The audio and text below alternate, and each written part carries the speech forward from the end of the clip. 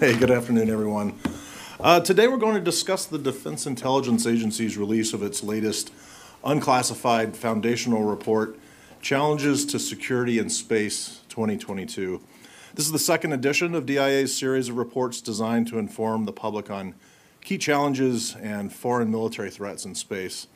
DIA's foundational reports foster informed dialogues between America's leaders, the national security community, warfighters, academia, allies, and partners about key national security challenges facing the United States.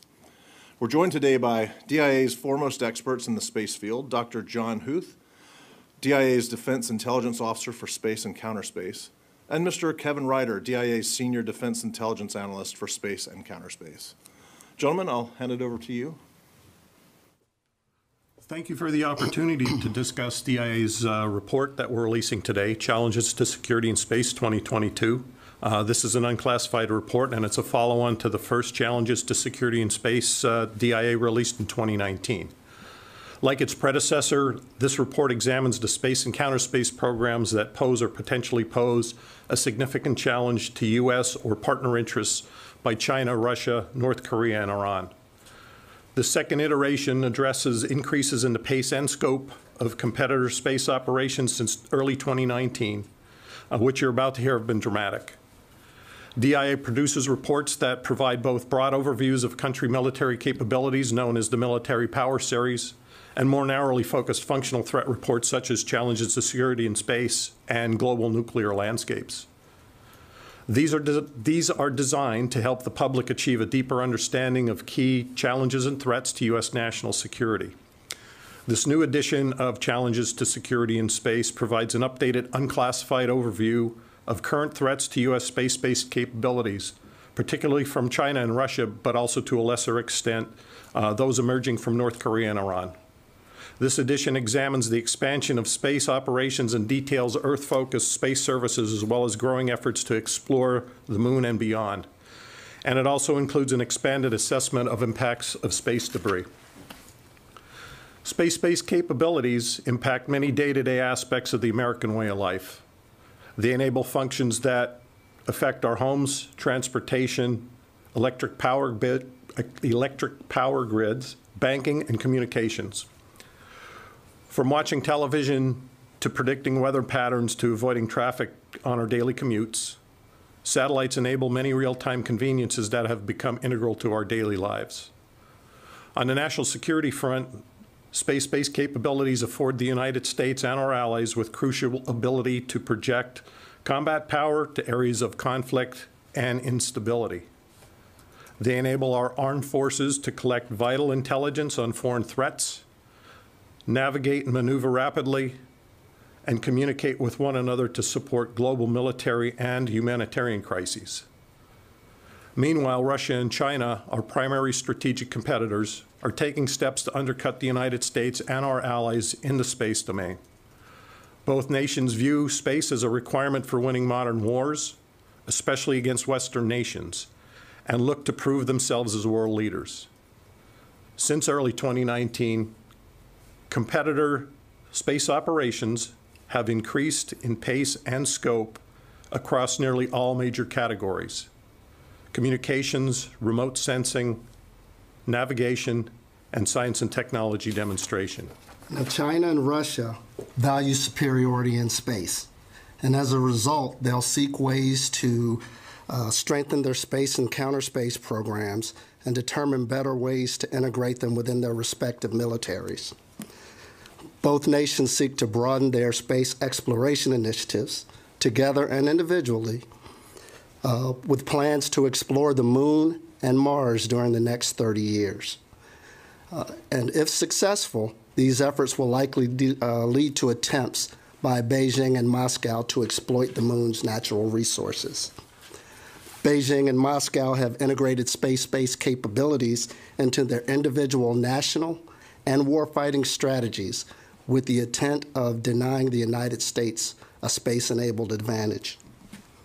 Evidence of both nations' intent to undercut the United States and Allied uh, leadership in the space domain can be seen in the growth of combined in orbit assets of China and Russia, which grew approximately 70% in just two years.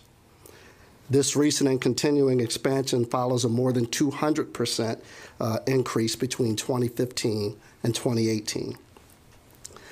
China has launched a robotic lander and rover to the far side of the moon and an orbiter, lander, and rover in one mission to Mars. It has also launched multiple missiles capable of destroying satellites and deployed mobile jammers to deny satellite communications and GPS. Moscow, on the other hand, has developed a suite of counter space weapons capabilities, including electronic warfare, to deny, degrade, and disrupt communications and to not deny the use of space based imagery. Russia is also developing a mobile missile that is able to destroy satellites and crewed space vehicles. Now, as the number of spacefaring nations grow and counter space capabilities become more integrated into military operations, uh, the U.S. space posture will be increasingly challenged and or- orbit assets will face new risk. A secure, stable, and accessible space domain is crucial as challenges to the United States and our allies' space capabilities continue to increase. Challenges to Security in Space 2022 offers the insights from top intelligence experts on current threats to the United States space posture posed by our strategic competitors and key uh, space issues through 2030 and beyond. Thank you for your time. We will now take questions. So if uh, you have a question for these gentlemen, uh, please just raise your hand and um, I'll call on you and you can please state your name and the outlet for which you're reporting. And I saw your hand first. Yes, ma'am. Hi, uh, Tara Copp with Defense One.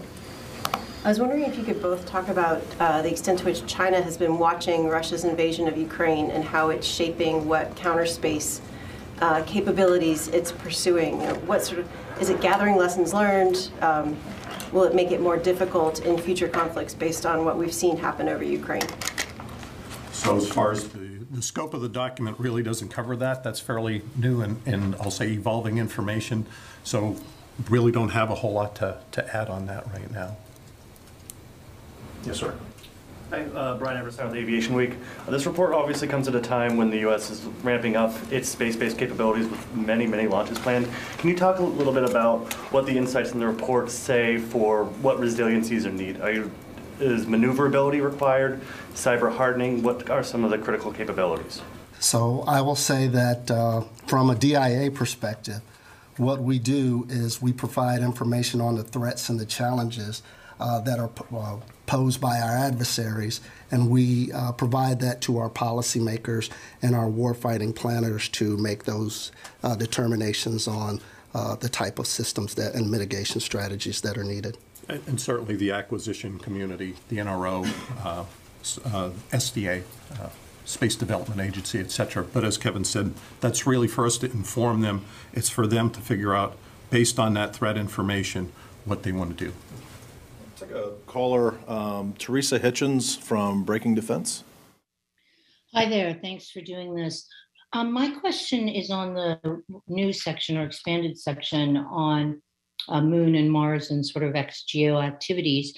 And I wondered if you could um, tell us whether you actually have evidence that uh, operators or, or there or have am, that evidence that maybe Russia or China actually have ambitions to create military capabilities in that region of space because what we see in the public domain is primarily interest from many countries in exploitation um, for economic reasons and exploration. Can you address that question? Thank Sure, you. That's, that's a very good question. Uh, so, what we've seen so far has been uh, more civilian in nature. However, uh, China emphasizes in their writings uh, civil military integration and dual use purpose space capabilities. Uh, so, we, while we do understand that right now it is uh, civil in nature, we continue to monitor uh, for any possibility of military activity. Are you saying that the moon has strategic military value? And if you are, what exactly do you think that would be? So as far as the strategic military value, that wouldn't be us for to, to assess. Again, we would advise on what the adversary is doing or might be doing. Certainly, the moon has a lot of valuable minerals, resources. Uh, It is the high ground, so those might all be considerations.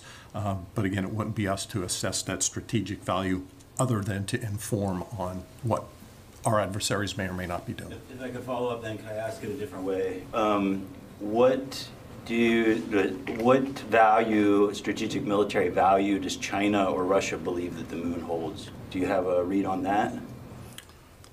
So I wouldn't want to speculate uh, on what their uh, thoughts are on what it might value right now. Um, all we all we know right now is that it is possible that because of their philosophy on dual use capabilities, that it may have some interest in the future. Technologies that are used for scientific purposes to get somebody to a, to another body, uh, i.e. the moon, uh, could also have that dual purpose or that military-civil fusion aspect that could translate into military capabilities, but we're not seeing that right now. Thank you. Uh, Jon Harper with FedScoop. Would you assess that China and Russia are ahead of the U.S. now when it comes to counter space capabilities? How would you kind of compare each of those countries to the U.S. in that regard? So- So again, our job is really to uh, inform on foreign military capabilities, not really do what I would call a U.S. uh, comparative assessment, but within the building here office in that assessment, um, the Space Force or, or, uh, Space or Command. Space Command uh, would be better, they'd be better to answer that question than us. Tony Capaccio with Bloomberg. Got a couple questions. One on the methodology of the report. So it's top-heavy with footnotes to published articles and to speeches. Is it fair to assume that DIA felt all those footnoted articles and articles were credible and thus part of the mosaic that you based your report on? So when DIA does analysis, um, there are varying levels of confidence that we put into those particular sources. Um, so, um, but usually when we do write a product, the bulk of the sources have some credibility, and if not, we identify uh, the level of confidence in that source, whether we think it's credible or not. Fair enough. That's a good, that's a, dec- that's a useful answer. So assessing the the China 20, uh, the July 21st to 21 fractional orbital uh, test, you, you have it in there, it, it captured the world's attention. Need to ask you this. Do you assess that that was a one-off demonstration that will be tough to replicate for a, number of years? Or did that indicate an operational capability they have today that could be launched tomorrow if they felt necessary? So we see China, both China and Russia, expanding their space and counter space capabilities. Uh, As far as details on what we expect next, uh, we can't, we can't address any more details than what's in the report. Well, I mean, I mean, wa- was it a one-off test, or do you, do they have now an operational capability for fractional orbital launch? I I don't think I could address that in any more detail in this, in this venue. But You can't address it here, I just wanted to get a sense of that. Is that- Yes, sir. That- And anything we would assess for future capabilities or assessments on future tests, etc., would be classified. Okay, fair enough. Um, let me go to the phones real quickly. Bill Gertz, Washington Times. Uh, yeah, hi. Um, I want to follow up on Tony's question on the fractional orbital launch. Uh, can you say whether this is a, uh nuclear system or it's a conventional system? And it is uh, reported in the report as part of uh, space weapons that are used to hit targets on the earth, on the sea, and in the air. Can you elaborate a little bit more on that? Um, could you repeat the question? I'm sorry. Yeah, um, the, the fractional orbital launch is described in the report as being part of uh, space weapons that are going to be used to strike targets from space uh, on the ground, on the sea, and in the air. Um, can you elaborate on whether this uh, uh, hypersonic glide vehicle will be used conventional or nuclear or both? Uh, so I will say, um, as the report states, this is the first uh, time we've seen this tested. So it's a little early right now to be able to determine um, its full set of capabilities and those that we have uh, determined. I will uh, reiterate my colleagues' comments uh, can't be discussed in this forum. No, wait, you know what, let me, let me go back here real quick. Oh, hi. Thank you for doing this. Um, When you were talking about how Moscow had developed all of the additional counter space um, abilities, uh, the mobile missile that could strike satellites, I know that, Ru- didn't Russia hit one of its own satellites just a few months ago in November? It, uh, One of its def- defunct sat- uh, Soviet satellites. So my, my question is, have they used any of these new capabilities against the U.S.? Have you seen any evidence that they've been trying to target these new capabilities towards U.S. uh, assets? So I think, again, the level of detail we have in the report about their ASAT uh, weapon systems, the testing that's been reported in the press as of a couple months ago is about what we can talk about here. It's the level of detail. Elaborate on what it says in the report, just to have the visual.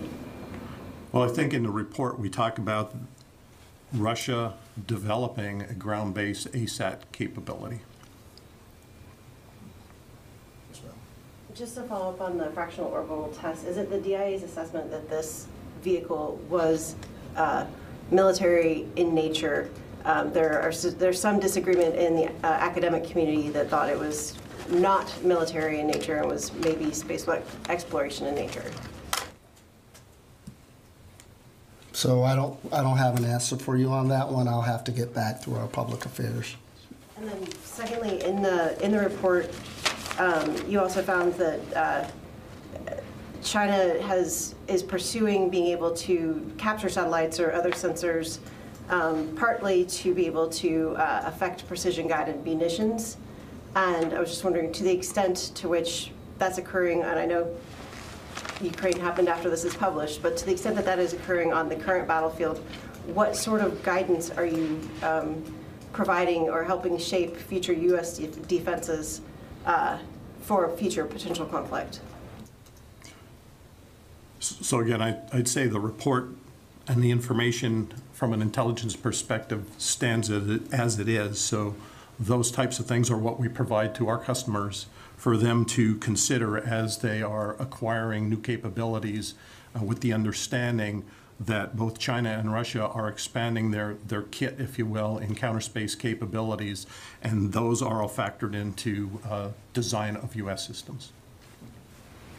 Um, Let's go to the phones again. Uh, Poonam Sharma from Global Straits. Hi, my question's been answered. Thank you. You're welcome. Brian Bender from Politico.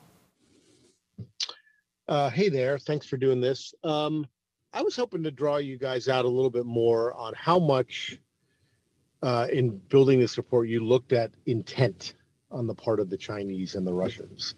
You threw out a bunch of percentages of growth in their space capabilities in recent years. Um, obviously, the United States still has presumably an edge, or at least in numbers, more systems uh, than they do. Give us some insight, if you can, about how you go about trying to understand why they're doing this. Why are they so aggressively trying to catch up, if you will, in these kinds of capabilities?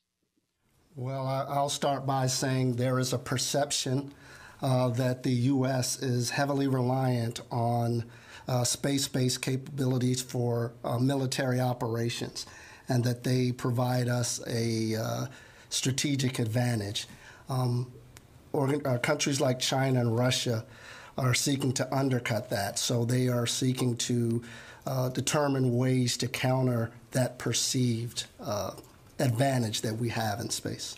And certainly, they have observed how we leverage space capabilities in the last uh, few wars uh, we've been in. Uh, They see how we advantage those. Uh, That certainly is, is a factor or driving factor. Uh, But regard your intent question, uh, clearly, they're not just creating capabilities, they have their own space forces. Uh, So uh, you can read into that or not what you want, but now you have a space force or space forces, uh, you have capabilities, and they are um, including them into their combined arms fight, or the intent is to provide that or pull that into the combined arms fight. So I think that's about all I can say on intent, but I think it's pretty clear to us. Thank you. Uh, Jon Harper again. Of the various counter space capabilities that were documented in the report, is there one in particular that most concerns you or that you feel like is the greatest threat to U.S. space systems? So, uh, from my perspective, uh, all of the capabilities um, are equal in nature. Um, it depends on how and why and when uh, the adversary would tend to use them or choose to use them. And if I could just reemphasize my last point and pile on what Kevin said. So it's not just a capability, it's the fact that they have a space force, or each have space forces, China and Russia, and their intent is to make space part of that combined arms effort in any conflict. Can I follow up on that a little bit on Jon's question? Which capability are they the most advanced in that's the most alarming to you? Again, I'm, I'm with Kevin. I don't think there's a particular capability that I would pull out and say I'm worried more about this or that because it's always context context dependent. It depends on the uh, particular conflict or stage of conflict. Uh, so I wouldn't pick one of those out. I really wouldn't.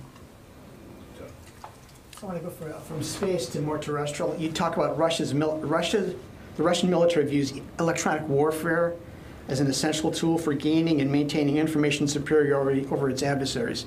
So it's five weeks into a, an invasion of Ukraine. Does DIA assess that even though on paper they have these incredible capabilities, they're not executing so well as a force? So, as the report lays out, both China and Russia have uh, a, a, pretty good bag of uh, kit capabilities with regard to electronic warfare. Uh, Russia emphasizes electronic warfare. Uh, we've seen some reporting in the press on how those are or aren't being used, but beyond that, I can't address any more details. Is this an example that on paper can say one thing, then operationally it could be a totally different picture? Perhaps. Okay, thanks. What are you getting from this? Let me go back to the phone. Sandra Erwin with Space News. Uh, thank you so much. Uh, just a couple of short questions. Uh, does DIA also produce a classified version of this report or just the unclassified? And the second part of the question, um, in, in the discussion on China's capabilities, do you consider all Chinese space capabilities military, or, or do you make a distinction, distinction between civilian space and military space? Thank you. So, for your first question, uh, while DIA does publish uh, a number of classified documents, uh, challenges to security in space uh, is only produced in an unclassified format. I think with regard to your second question, uh, Kevin, I think I had already both talked about what the Chinese refer to as civil military fusion. Uh, so sometimes things can look very distinct as to whether they lay on one side or another, at least for the time being. Uh, and that can change because of that. Um, and there's a lot of gray area in there. They, they, they don't conduct business the way, certainly the way U.S. or other Western countries do. Yes, ma'am. Thank you. Um, I appreciate this. And apologies if I missed this, but I hear you say a lot about how China and Russia are the premier competitors. Can you rank those? Who is the more dominant threat between China and Russia in space? Uh, I'll, I'll, put it this way: China has, uh, due to economic, more economic advantages, has increased their capabilities and put more uh, financial and military effort towards developing the, their capabilities. Uh, Russia, on the other hand, is more streamlined um, due to other modern uh, military modernization efforts for the country. I wouldn't take my eye off either one. Yes. Louis.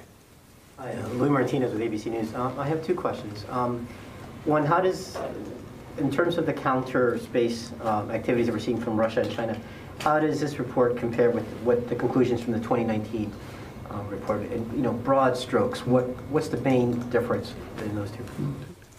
Well, uh, the, uh, as you said, 2022 builds on our 2019 report. Uh, It expands a little bit more on some of uh, the future developments. It also takes uh, a harder look at uh, space debris and the causes, uh, the potential impact of that in space. And it also looks at uh, development uh, to get out and exploration out beyond the moon. And I think we go a little bit deeper on space domain awareness and command and control as well in the newer, in the newer report. In space debris, because obviously we've had these tests that the Russians have undertaken, which, and the Chinese have undertaken, which has led to Well, there are a series of things. There's uh, uh, testing, there's battery explosions, and then there's just inadvertent collisions that all contribute to space debris. And my second line of questioning has to do with um, the U.S. lead in space. Uh, We've seen this uh, tremendous commercialization, um, even in the last three years. I think there's been tremendous advances in the commercialization of space on the U.S. side. Um, Is the U.S. able to maintain, I mean, is that something that will allow the U.S. to maintain the lead uh, in the future? Or as these other countries, because they continue to do state-sponsored uh, space development, um, what's the contrast there between the two? I, I think it'd be conjecture on our part, but uh, we have a robust space economy, a commercial space economy. Uh, I attended the symposium last week in Colorado Springs, and uh, you only needed to spend about 10 minutes there to see that we do have a robust space economy that supports both commercial and uh, uh, supports the government as well. Yes, sir.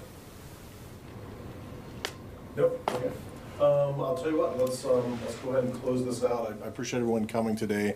Just as a reminder, um, or to, I guess probably letting you know for the first time, we have handouts of the report that are available as you file out if you'd like. So, thanks for coming. Thank you, gentlemen. Thank you.